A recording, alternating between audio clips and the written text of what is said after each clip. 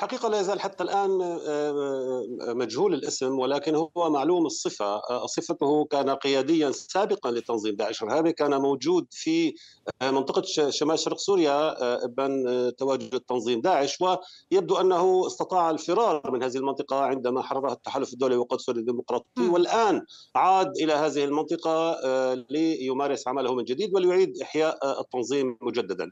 لماذا تك... لماذا لماذا لم تعرف هويته يعني هل يوجد أي أسباب لذلك؟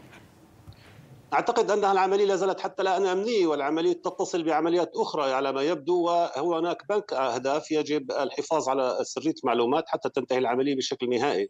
نعم. آه هذا هذا الأمر الذي آه، يضفي بعض الغموض على الأسماء أو على الشخصية.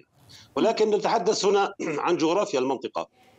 المنطقة من مدينة الطبقة إلى مدينة الرقة آه، المسافة بحدود ومن من الرقة باتجاه أرياف دير الزور هناك أكثر من 250 كيلومتر كل هذه المنطقة آه، خطرة جدا لأن هناك تواجد لعناصر تنظيم داعش حقيقي في بادية حمص وفي بادية دير الزور الكل يعلم أن هناك تواجد آه، للتنظيم بشكل هرمي وبشكل آه، أكثر تنظيما من تواجده في منطقة شمال شرق سوريا.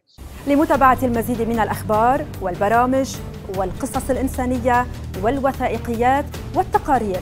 لا تنسوا الاشتراك بقناتنا على يوتيوب الضغط على زر الإعجاب وتفعيل جرس التنبيهات.